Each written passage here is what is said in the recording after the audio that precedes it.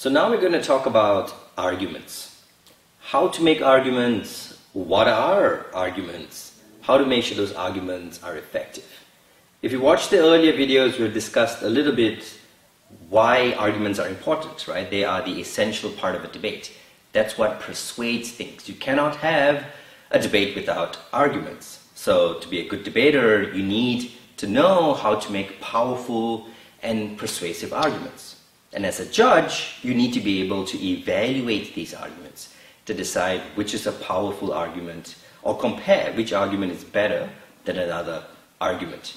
You also need, as a debater, to be able to identify arguments in order to engage those arguments. So we'll discuss rebuttals in a separate section, but today we're going to, we're going to focus specifically on arguments. Okay? So arguments are basically things that you use to persuade one side, or persuade people to believe in your side. Well, what are some, you know, common debates or common arguments? I mean, if you have to think about what is better in this economy, is it better to spend money or to save money? What are some arguments for either side? Um, what about in support of middle mixed sex schools or single sex schools? Why are, why are some reasons why single sex schools are better than mixed sex schools, for example, right? Or perhaps in the environment, are huge debates about the environment. If we have taxes on industry, does that actually help the environment or does it hurt the, the environment? All these are debates, and there may be some debates that you've had, and you make arguments. Now, one debate that I guarantee you have had in your life and has happened in every country all around the world since the beginning of time, well, since the beginning of human existence within time, um, is debates about food. What to eat.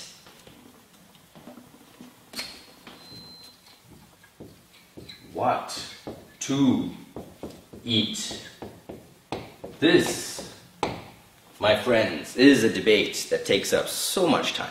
People talk about this all the time, everywhere, right? Should you eat something spicy or should you eat something sweet?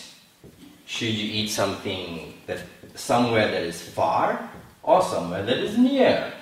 What about fast food or slow food? What about, let's try a different pen, um, food that's expensive or cheap?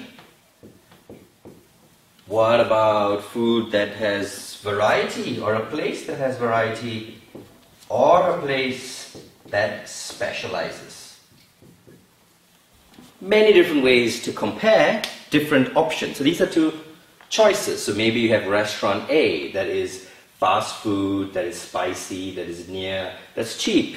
And restaurant B that's a little bit further away, that's expensive, but tastes better. It's a specialty restaurant. And people will have debates, right? And you make an argument to recommend one thing over the other. So, for example, I may say that, oh, I like spicy food. But someone else will say, no, no, no, I like sweet food. Or but someone else will say, no, I like things that are expensive because, you know, I've got a lot of money. Or someone else will go like, hey, I'm a poor student, I don't have enough money. When you're in a group, you need to be able to persuade that group to do something for you. You need to make arguments that appeal to the entire group. You can't just argue what's good for you. You can't say, I like something, therefore I will do it.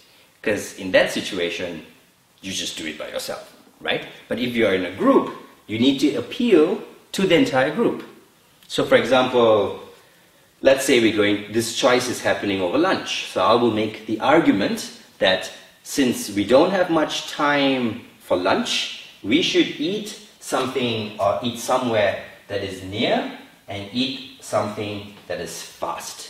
So we shall go to the blue restaurant, right, that serves food quickly, that is near. So fast food, that is near. That's my argument. Because it's lunchtime, and because we don't have much time for lunchtime, right?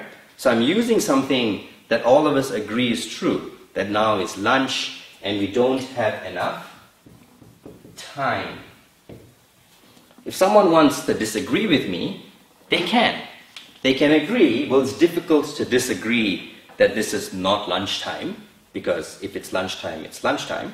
But they can disagree on how much time we have. They can say, well, we have enough time, so go somewhere a little far, right? Well, there also, the food is quite fast, um, and the food is cheaper there. So even if we don't have enough time, we should go to those places. Or someone can make a different argument. They can say, hey, you know, we've worked so hard all morning that we deserve a bit of a reward. We should eat something nice for lunch to relax, right? To get our mind off work, to feel energized. So we should eat some nice food, something that's expensive, right? And a place that has some variety, right? Because we want to reward ourselves. So we should go to the red restaurant where we can reward ourselves, right? Maybe that's a different criteria based on a different argument.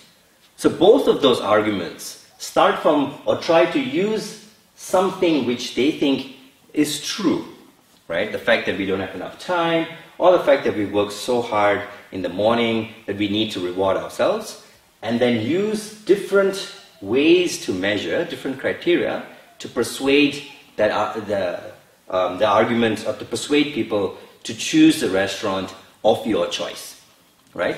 So think about it. How would you make an argument, for example, that uses, um, let's use a different color, because otherwise things get confusing. What, if, what arguments could use the fact that restaurants are, that you eat fast food, that has uh, variety,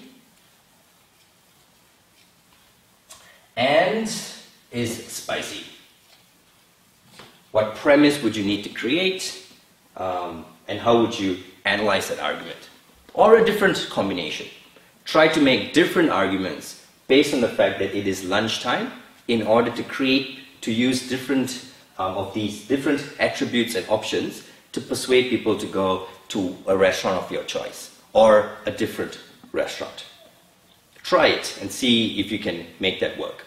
Right? It's a simple example in a simple context and something that we all can share some experience with, but I'm telling you it's very, very relevant.